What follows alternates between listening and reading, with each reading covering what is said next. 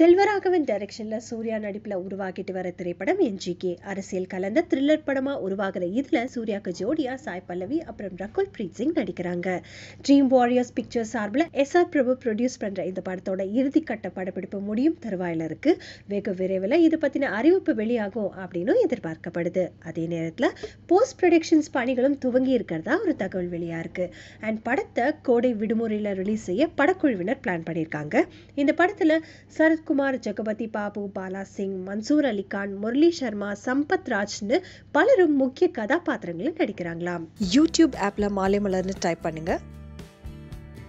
அப்படியே சப்ஸ்கிரைப் பண்ணுங்க. பண்ண உடனே பெல் ஐக்கானை கிளிக் பண்ணுங்க. நவ் இன்ஸ்டன்ட் அப்டேட்ஸை பார்த்து என்ஜாய் பண்ணுங்க.